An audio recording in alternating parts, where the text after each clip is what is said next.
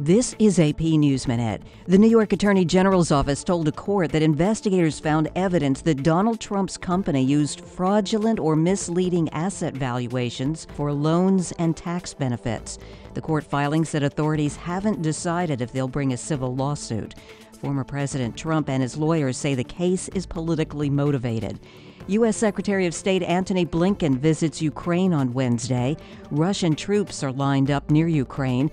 President Biden has warned Russia of severe economic consequences if it attacks that country. The Senate began debating about a voting rights bill. Majority Leader Chuck Schumer admitted the bill will probably be defeated because Democrats don't have enough votes to overcome a Republican filibuster. New York authorities say one person is dead and eight injured, including five police officers, after a suspected gas explosion in the Bronx.